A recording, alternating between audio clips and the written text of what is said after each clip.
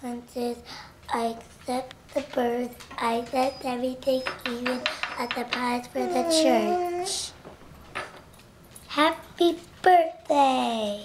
All right, now tell me the other thing that they, you do before you go out and play. I listen, respect in ourselves. We practice right and honesty.